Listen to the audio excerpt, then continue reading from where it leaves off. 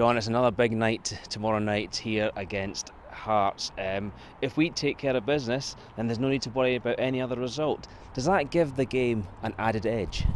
Ah, I suppose it does, yeah. We know the guarantee is that if we take care of it, we win the game, then we finish second, and second's a, a big advantage. You know, you've only got four games to get to the Premiership rather than six, so it's two less games. It's two less games without picking up injuries, two less games without getting any red cards, suspensions.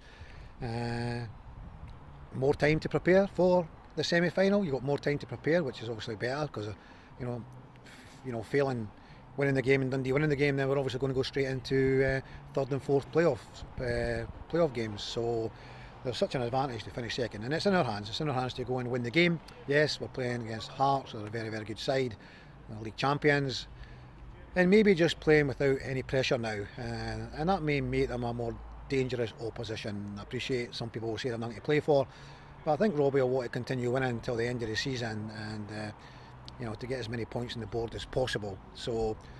From our point of view, you know exactly right. It's a it's a Kenny Cup final. Whereupon if we win the game, 100% second place, which will be which will be a big, big, you know, achievement for the football club to finish second in this league. There's so many big clubs in it, and for us to finish second would be a great statement, and it would be a great honour uh, to, to, to, finish second to a team like Hearts, a massive football club like Hearts. Um, so it is what it is. We know, we know what we've got to do, uh, and uh, we're preparing and planning to do that.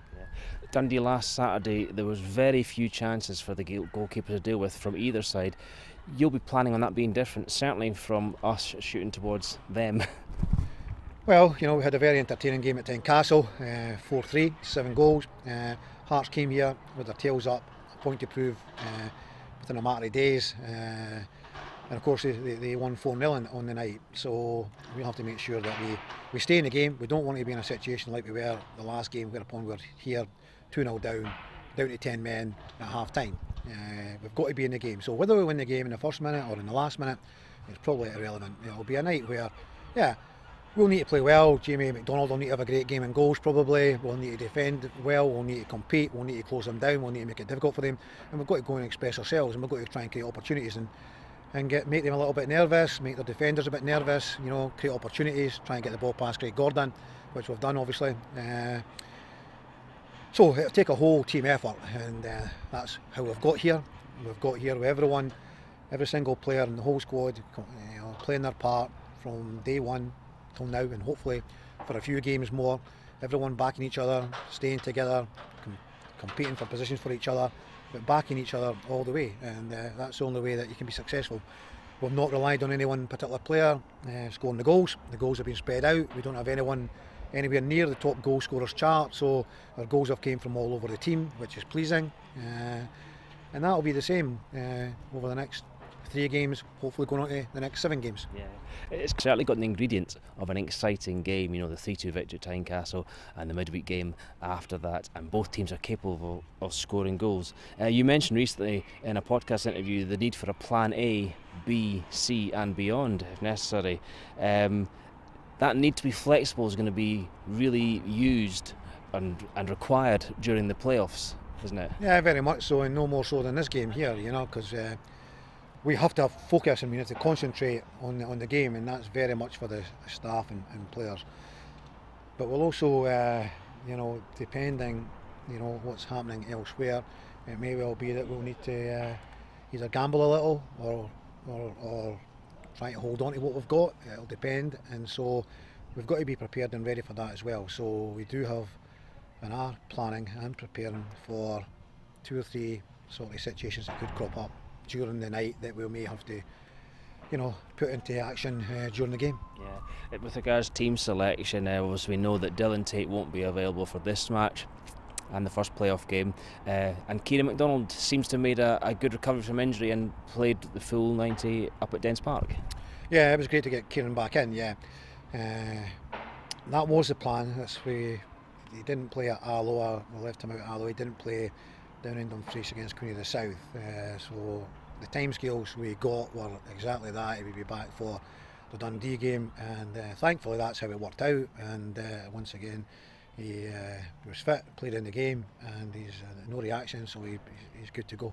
Yeah, and, and it's worth noting as well that you know in Kieran's absence, Dan Armstrong stepped in and did a, an excellent job in in a, in a slightly more withdrawn defensive position for him. Yeah, I had to go and play left back, simple as, yeah. Uh, so it's great that Dan did that. He did it on probably a couple of occasions in, uh, in League One uh, last year. I think remember dropping in even at uh, at Falkirk, if I can remember right, and he's played out here and uh, maybe against Stranraer, I think. Uh, he, he, put a great ball over the top for John Baird to go on and score a goal against. Uh, so, yeah, he's done it on a couple of occasions, and uh, thank Dan for, for going because not everyone would go and do that, you know. Uh, Frankie is the one who would have been in that position to have maybe you know slid across and, and go and play left back, but unfortunately with Frankie being out uh, and out for the season, then it was, uh, it was the other option was Dan, and he went in and done a very good job on the day. Yeah. Um, the season's still ongoing, but um, we recorded the Player of the Year awards earlier this week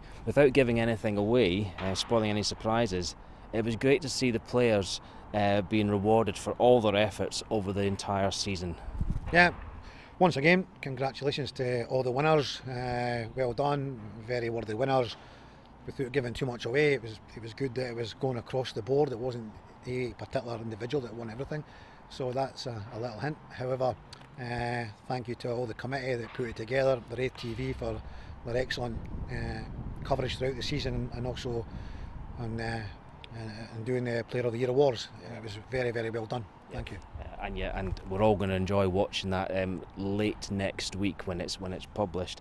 Uh, finally, John, um, just on the way here, I was thinking about um, the, the amazing the difference that three years makes. You know, May 2018. We were devastated to lose out to Alloa in playoffs. Now we're potentially a handful of games away from playing in two leagues higher than that. It's easy to forget how far we've come. You must be pleased with the progress that you've achieved in your time here. Yeah, pleased for everyone. Yeah, definitely pleased with the progress and where we are sitting right now and with the opportunity. And it is an opportunity, one maybe that we need to grasp with both hands because these opportunities may not come along, uh, you know, very often. So we're in there. We've got a chance. I think everyone's seen us play against Dunfermline and Dundee, and there's nothing in it. They will feel that they've got a chance. We believe we've got a chance, and then you know, whoever comes out in top's got an opportunity to play against a, a Hamilton, a Ross County, a Kilmarnock. So, you know, we hope that we're the ones that are going to going to go and do that. But just as you said there, talking about Alloa and, and the width of a post, you know, and if you go back to that May you're talking about when Lewis Vaughan hits the post, and you look last Saturday or the Saturday before when we played Alloa, and they hit the post, and if you look at the two things, that then put Alloa down you know, and on that particular day, the Rovers went down, you know, when Lewis hit the post. So there you go. You know, it just kind of like the whole thing swung round again. You know, it's uh, it's football. You know, it's football. So yeah, delighted for everyone connected, all the players that have been here previously, who have played their part, all the players that are here now, all the background staff. You know, Paul Smith, Darren's been a, a massive help. Uh, Blair, the the sports scientist, Simon, you know, does an amazing job with regards to the kit man and everything else that he does. Stuart Duff, our physio, Cammy Ross, uh, Andy Tunnahill, the, sport, the uh, analyst. Uh, hopefully, I've not missed anyone now. The, the, the birthday girl, Dr. Green. Yeah, Katie Green has been amazing as well, especially you know in this time with the COVID and everything else that's been going around. So, yeah, for everyone that's put all the effort in, you know, hopefully we're the success we've had is just uh, ready to take another step forward. Great. Thanks for that, John. Good luck for tomorrow night and good luck uh, thereafter. Thank you.